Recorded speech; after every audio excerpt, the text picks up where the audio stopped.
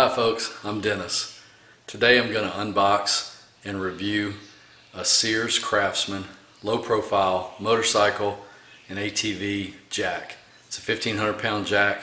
I just bought it yesterday so we're going to go through the process of uh, unboxing it, setting it up, and uh, trying it out on a motorcycle. So thanks for watching my video. Let's get started. There may be uh, better motorcycle jacks out there, but uh, I needed one today, and Sears is the closest store around in our rural area that has them. So uh, I stopped and picked this up. The regular price is $113. You can catch them on sale sometimes for about 90 I just took it out of the back of the truck and set it in the garage floor, so we'll open it up and see what we got.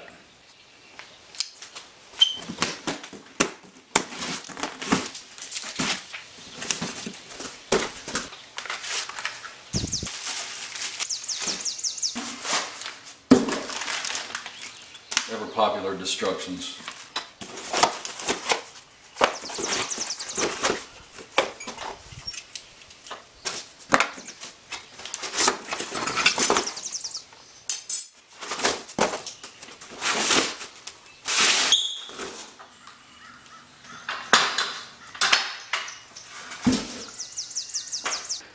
Here's the uh, instruction set, optional 2 inch spacer pads that you can get that'll snap into these holes here to give you an extra 2 inches of lift. Five step assembly instructions, so that's nice.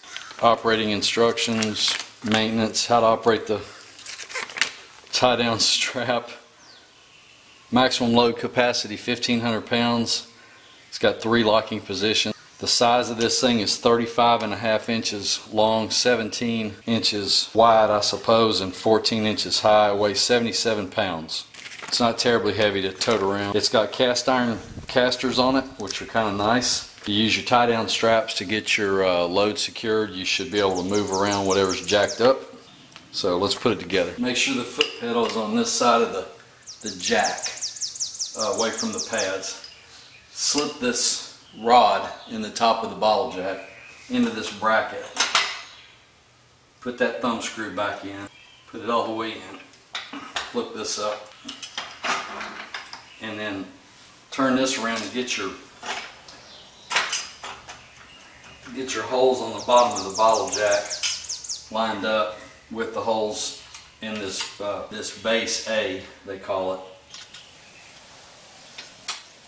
The nice thing is there's not a bag of bolts for this thing. You just, they got the bolts already threaded into where they go, so that helps a little bit. Takes a 14 millimeter wrench. Probably be easier to use a ratchet and a socket, honestly. Then you take the uh, foot pedal, take that bolt out of it. This to insert the foot pedal arm into the sleeve of the hydraulic ram and secure with a 8 mil 8 by uh, 12 hex bolt. So that's that hex bolt. Put it in there, line up the hole, I don't want to over tighten it because I don't want to strip the threads out of this foot pedal but I want to get it secure so it doesn't fall out on me. This is the height lock release bar. So this goes in here. There's a shoulder machined onto this thing.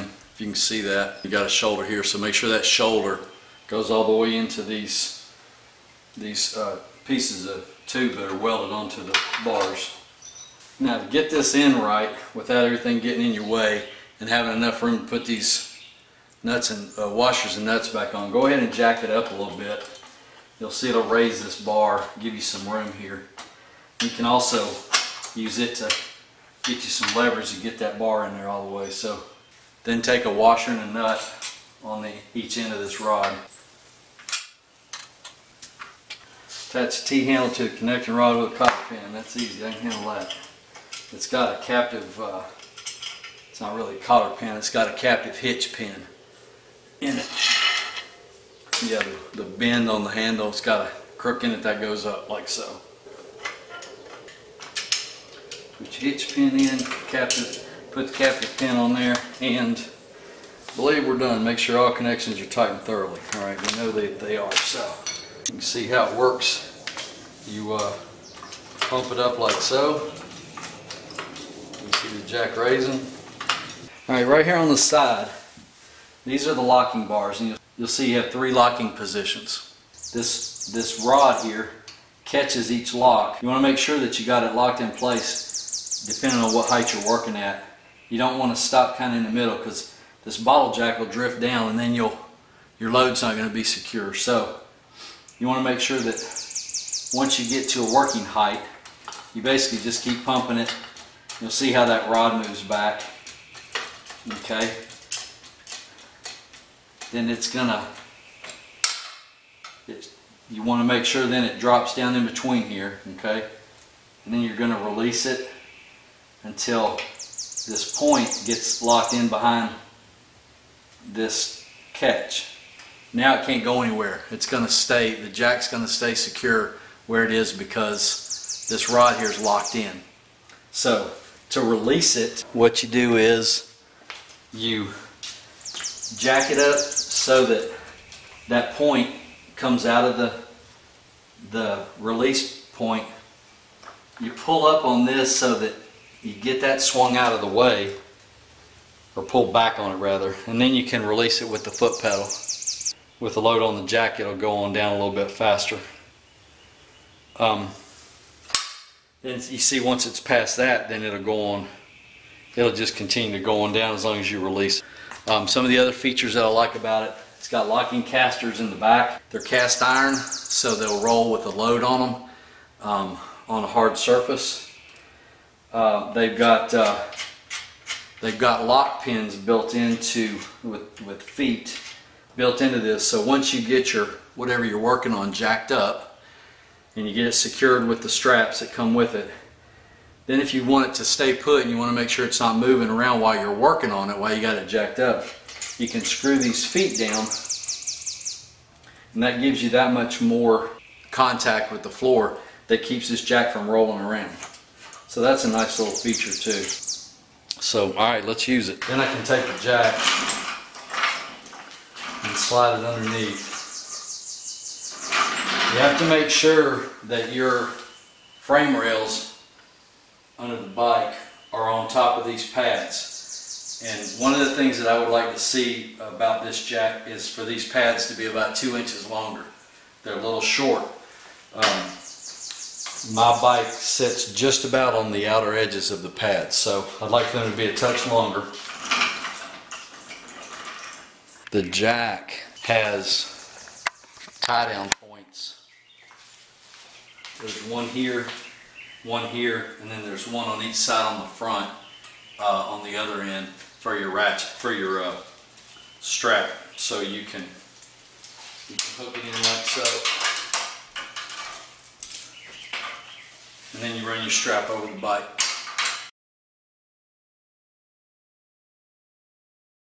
All right, so I don't want to tighten up this strap too much yet because as I lift the jack up, since I'm tied down to the base of the jack, but I'm lifting the bike up, the strap's going to get tighter. So I'm going to leave that pretty loose until I get the bike stable. So I'm going to hold on to the bike uh, back here and on the grip. I've got the weight off the kickstand.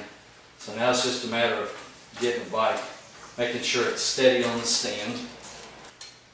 So now I've got all the weight off of the tires. The bike's steady and stable. I just feel better if I've got the strap tied down on it. So now I'm going to tighten up the strap a bit.